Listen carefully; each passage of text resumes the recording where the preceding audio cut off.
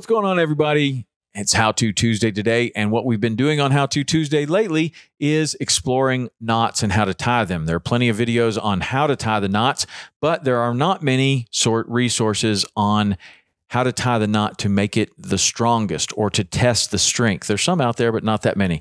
I have some things that I wonder about all the time. One of those is how many turns should you make on a knot that you use all the time? A knot that I use a lot is the uni knot the uni knot can be used all the way through your entire system. It's the most popular video I've ever filmed, um, probably 8 million views or more and counting on YouTube right now. Um, about the uni knot and the interesting thing about the way that I did that video is that the uni knot was to tie the hook on it was to you use a double uni knot to go from the the leader to the braid another uni knot to go from the a double uni for the braid back to some mono that is your backing on your reel and then a uni knot around the arbor of the reel. So one knot you can use throughout your entire system. It was very popular and uh, it's a very good knot for that. So today what we're going to do is i've already prepared i've tied a uni knot with four turns with five turns with six turns and with seven turns and we're going to see if the difference in the number of turns is going to make a significant difference in the strength of the knot. So right now we're going to go with uni knot with four turns.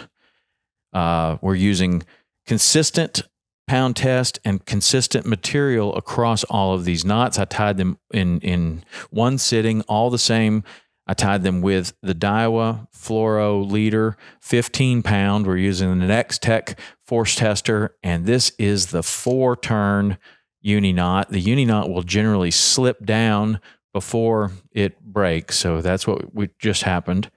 I'm going to pull.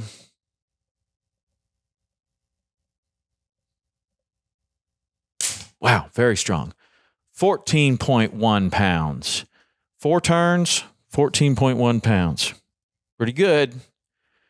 Pretty good. Okay, here we go with five turns. Okay, reset this.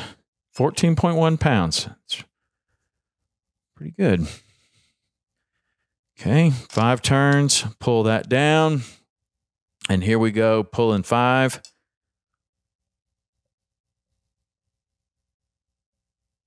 Wow, very strong. 14.45 pounds for five turns. Step up to six turns. Pull that down just like the others. Now it's all consistent. Reset. And this is six turns. Hmm. 10.19 pounds. That's strange. Don't know why that would have happened that six turns was less, that much less, significantly less. Occasionally, you'll have a knot that just doesn't tie as well as you might want. Okay, pull this one down with seven turns, reset, and I'm going to pull this to breaking strength.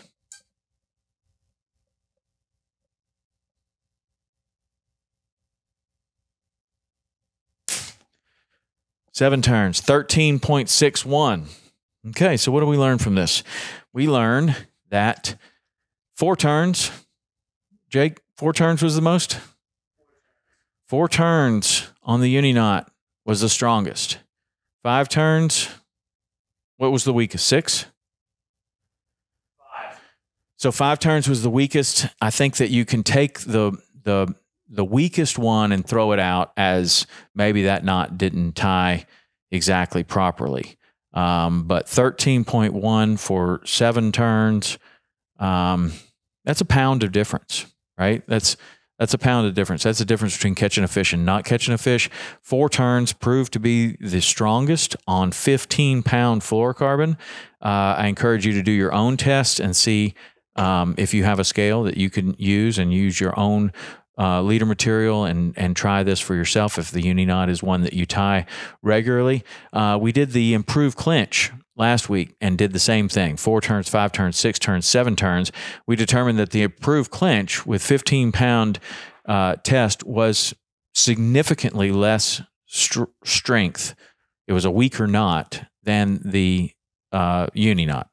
So, one thing that you can learn immediately is that the uni knot with any number of turns is better than the improved clinch with any number of turns. I use the improved clinch a lot. Permit fishing, when we're using a 25 pound leader and 10 pound test, um, I find that it's it's plenty strong. And and if you're using 25 pound and your breaking strength of your line is around 10 pound test, you shouldn't have any problem with it.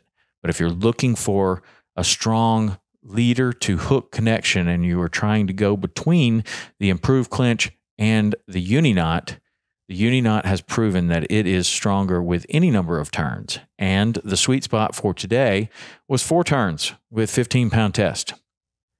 The others were slightly less, but I thought that we would see bigger differences between the number of turns. Try it for yourself. Send me a text at 305 930 7346. Let me know what your findings are because um, we need to help each other. And the knots are controllable. These are things that we can make a decision about the night before that can really make you a better fisherman or not. One fish can be the difference between winning a tournament and not winning a tournament. One fish can be the difference between keeping one of your customers very, very happy or having them be very, very disappointed.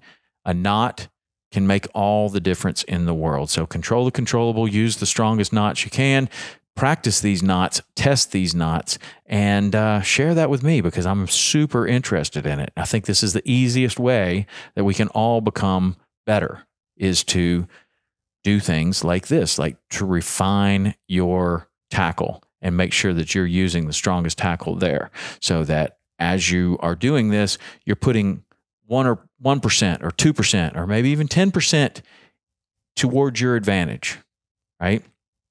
We need all of that because fishing is a sport that uh, there are so many things that are out of your control the weather, the fish, wild animals, other boats, lots of different things are out of your control. So, what you can do is you can take care of all the things that are within your control, just like this. That's what How To Tuesday is about. And we'll see you with the next one, another How To Tuesday next week. See ya.